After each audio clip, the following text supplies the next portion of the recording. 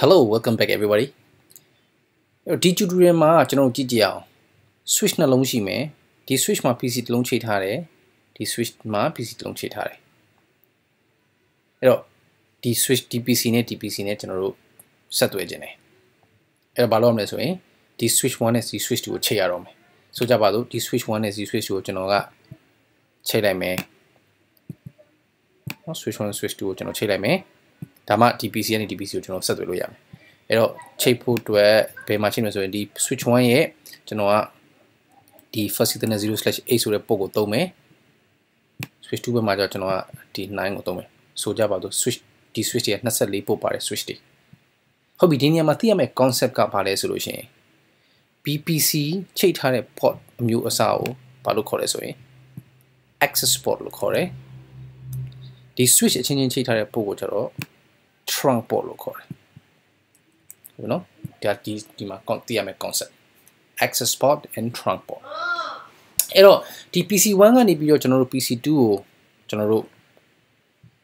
ping လုပ်မယ် ping လုပ်မယ်ဆိုရင်ကျွန်တော်တို့က okay ဒီ switch နှလုံးချိန်ထားတယ် everything configure လုပ်ပြီးပါပြီ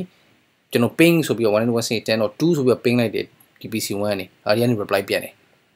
ဒါလိုလိုလေးရေနော်အဲ့တော့ တကယ်တမ်း behind မှာဘယ်လိုလုပ်ပါလဲဆိုလို့ရှိရင်ကျွန်တော်ပြောခဲ့တဲ့ပြီးခဲ့တဲ့ tutorial မှာဒီမှာပါရှိတယ်ဆိုရင်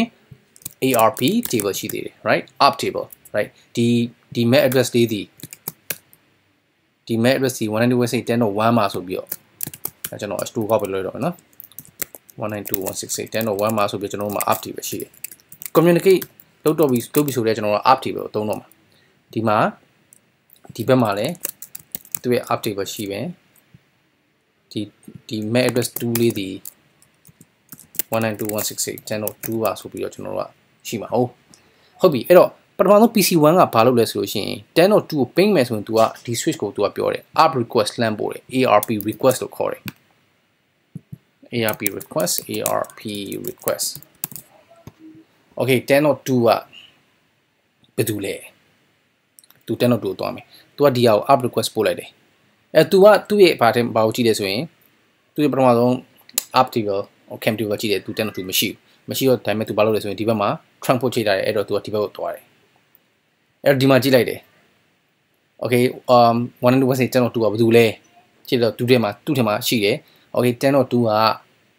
mac rc 002အဲ့တော့ तू က cam table ကြည့်တယ် cam table ကဘာလဲဆိုရင် okay or cam table ထဲမှာရှိအော်10 uh 2က first season 24မှာချိန်ထားရဆိုတော့ तू ကဒီဘက်ကို तू ကဒီကိုရောက်သွားတယ် right အဲ့တော့ဒီမှာ response ပြန်မယ်ဒီကောင် response ပြန်မယ်သူတို့နှစ်နှစ်ယောက်ကဒီနေရာမှာသိရမှာ same IP range အဲ့တော့ ARP response ကိုသူကပြန်လိုက်တယ် okay ဟုတ်ပြီငါရဲ့ MAC address ကတော့ 192.10.2ငါ MAC address က02ပါဆိုသူ reply ပြန်တယ်သူကနေပြီးတော့သူ့ရဲ့ MAC address 02လေးကိုသူဒီဘက် reply ပြန်တယ်ဒီကနေပြီးတော့သူ02ကိုသူဒီဘက် reply ပြန်တယ်အဲ့ဒီအချိန်မှာဒီလိုနဲ့သူတို့နှစ်ယောက် communicate လုပ်လို့ရကြတယ်ဟုတ်နော် okay အဲ့တော့ဒီ tutorial မှာ switch နှလုံး PC နှလုံးချိန်ထားတယ် switch PC တွေ printer တွေ server တွေချိန်တဲ့ port access port လို့ခေါ်တယ် switch ချင်းချိန်တဲ့ port trunk port လို့ခေါ်တယ်သူ configuration ကလည်းမတူဘူးဒါနောက်ကျွန်တော် configuration section တိုင်းကျွန်တော်လေ့လာလို့ရတယ်ဒါ concept access port and trunk port ပြီးလို့ရှိရင်ဒီမှာ same IP address range 192.168.10.1 10.2သူက communicate လုပ်မယ်ဆိုရင် platform သူကဒီ switch ကို up up request ပို့တယ် အဲ့တော့ဒီမှာကြည့်ရမရှိဘူးသူကနောက်ဒီ best switch ကိုသွားတယ် up request ဆက်သွားတယ်ဒီမှာ up request သွားတယ်သူတွေ့တယ် PC2 မှာအဲ့တော့ PC2 ကနေပြီးတော့ up response ပြန်သွားတယ် switch 2ကို okay ငါရဲ့ Mac က02 10.2 okay ဒီဘက်ကိုသွားတယ်02ဒီဘက်သွားတယ်ဒီမှာ02ပြန်လာတယ် alright so ဒါ PC နှလုံးဒါ communicate လုပ်တယ်ဟာ alright so thank you very much and see you in the next tutorial